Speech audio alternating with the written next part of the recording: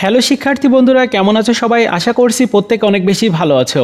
বন্ধুরা, জাতীয় বিশ্ববিদ্যালয়ের অনার্স ভর্তির প্রথম রিলিজ স্লিপের ফলাফল প্রকাশ করা হয়েছে এবং তোমরা অনেকেই প্রথম রিলিজ স্লিপে চান্স পাওনি। আবার অনেকে যে সাবজেক্টে চান্স হয়েছে, ওই সাবজেক্টে ভর্তি হওয়ার ইচ্ছা নাই, অনেকের আবার কলেজ পছন্দ হচ্ছে না। তো যাই হোক, তোমাদের এই যে সিচুয়েশনটা এখন, এই সিচুয়েশনে তোমাদের করণীয় কি রয়েছে? অর্থাৎ চান্স না পেলে কি করতে হবে? অথবা চান্স পেয়ে ভর্তি হতে না চাইলে কি করতে হবে? তো সম্পূর্ণ ভিডিওটি দেখবে, আমি বেশ কয়েকটি ওয়ে তোমাদেরকে দেখাবো, চাইলে তোমরা সেই কাজগুলো করতে পারো। তো চলো বেশি কথা না বাড়িয়ে মূল ভিডিওতে যাওয়া যাক। বন্ধুরা, প্রথম যে বিষয়টি, তোমরা যারা প্রথম রিলিজ স্লিপের চান্স পাওনি, যদি এই বছর অনার্স কোর্সে ভর্তি হওয়ার ইচ্ছা থাকে, তাহলে তোমাদের জন্য আর একটা সর্বশেষ সুযোগ রয়েছে, সেটি হচ্ছে দ্বিতীয় রিলিজ স্লিপ দ্বিতীয় রিলিজ স্লিপের আবেদন, এই প্রথম রিলিজ স্লিপের ভর্তির কার্যক্রমটি শেষ হওয়ার পরে গিয়ে শুরু হবে। এখন তোমরা যারা চান্স পাওনি অথবা চান্স পেয়ে ভর্তি হতে চাইছো না, তোমাদের এখন দ্বিতীয় রিলিজ স্লিপের জন্য ওয়েট করা ছাড়া আর কোনো উপায় নেই। এর সাথে তুমি অন্যান্য যে কোর্সগুলো রয়েছে জাতীয় বিশ্ববিদ্যালয়ের, যেগুলোতে ভর্তি চলছে, ওইগুলোতেও আবেদন করতে পারো। যেমন প্রফেশনাল অনার্স ভর্তির আবেদন চলছে এবং আবেদন আগামী তিরিশ জুলাই, অর্থাৎ আগামীকাল পর্যন্ত চলমান থাকবে। তোমরা চাইলে প্রাথমিক আবেদনটি করে রাখতে পারো। আবেদন ফি হচ্ছে তিনশো টাকা। আবেদন ফি দেওয়ার পর এর যে কোর্সগুলো রয়েছে, সেই কোর্সগুলো করতে পারবে। তো যাই হোক প্রফেশনাল অনার্স ভর্তির কার্যক্রমটি কিন্তু আগামীকালকের মধ্যেই প্রাথমিক আবেদন শেষ হয়ে যাবে।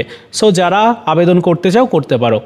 এছাড়াও জাতীয় বিশ্ববিদ্যালয়ের সম্পূর্ণ নতুন একটি কোর্সের আবেদন শুরু হয়েছে on campus honours course on campus honours কোর্সের মধ্যে রয়েছে LLB honours BBA honours tourism and hospitality management nutrition and food science প্রত্যেকটি কোর্সই গাজীপুর মূল ক্যাম্পাসের দ্বারা পরিচালিত হবে। তো যাই হোক, তোমরা চাইলে এই কোর্সগুলোতেও আবেদন করতে পারো। এখানে আবেদনের যোগ্যতা দেওয়া আছে।